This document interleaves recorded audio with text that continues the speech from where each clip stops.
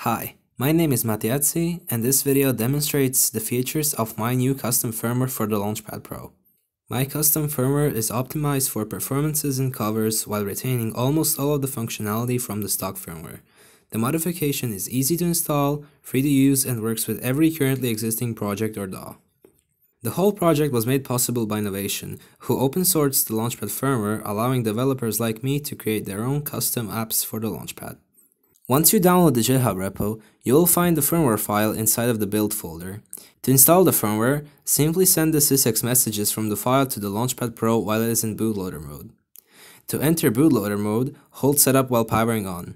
You can use my flash tool to easily upload the firmware file to your Launchpad. You can also use this to roll back to the stock firmware at any time you like.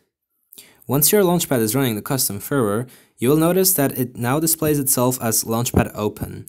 You will need to set it up again with Ableton in order to use it.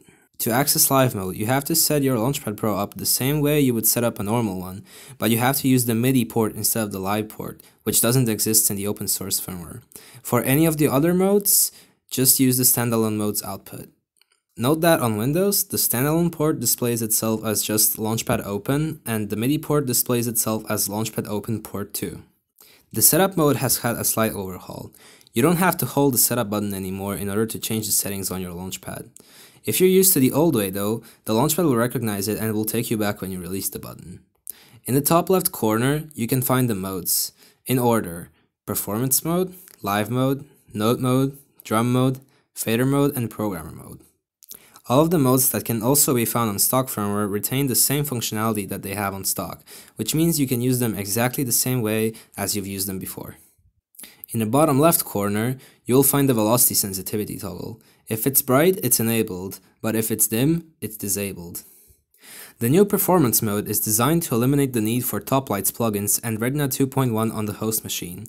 Toplights are made directly available via normal note-on messages, and the velocities received are displayed using the currently selected palette. This also allows for placing samples on the top row. You can also access the mode light in performance mode.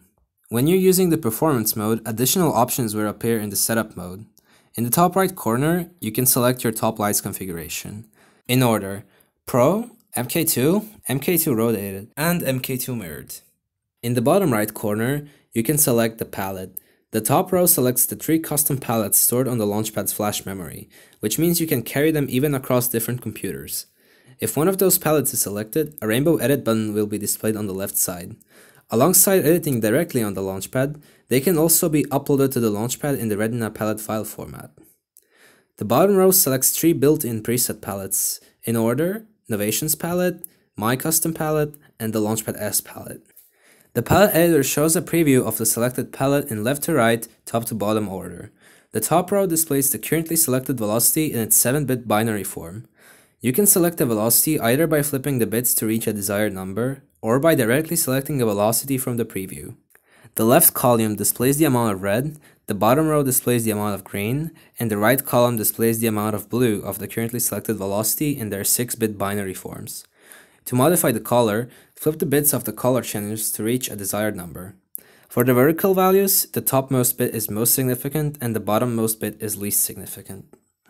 If you want to upload a palette made with Retina to your Launchpad, you can use the palette uploader to upload a Retina palette into one of the palette slots on the Launchpad. Simply load it up in Max, select your Launchpad's standalone port, and the desired palette index. Then, click Upload and select your Retina palette file. As the project develops, this video will likely become out of date. Make sure to also read the README in order to get updated on all of the latest features.